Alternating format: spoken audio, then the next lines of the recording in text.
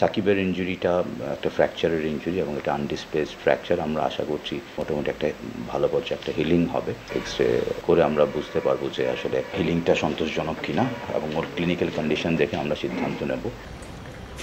রোববার বিসিবি চিকিৎসক জানিয়েছিলেন এক্স রিপোর্টের পর জানা যাবে কবে নাগাদ মাঠে ফিরতে পারবেন সাকিব আল হাসান। দুদিনের মাথায় হাতে মিলেছে এক্স রিপোর্ট জানা গেছে এক্স রিপোর্ট এসেছে বেশ ইতিবাচক।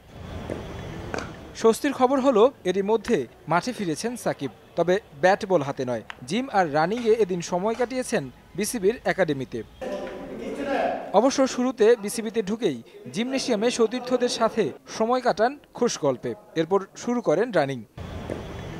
খেলার বাইরে থাকায় ফিটনেস নিয়ে কিছুটা ঘাটতি অনুভব করেই কিনা ফিজিওর সাথে রানিংয়ে নেমে পড়লেন সাকিব। এ সময় হালকা শারীরিক কসরতও সেরে নেন সাকিব। এরপর আবারও জিমে খানিকক্ষণ কাজ করেন তিনি।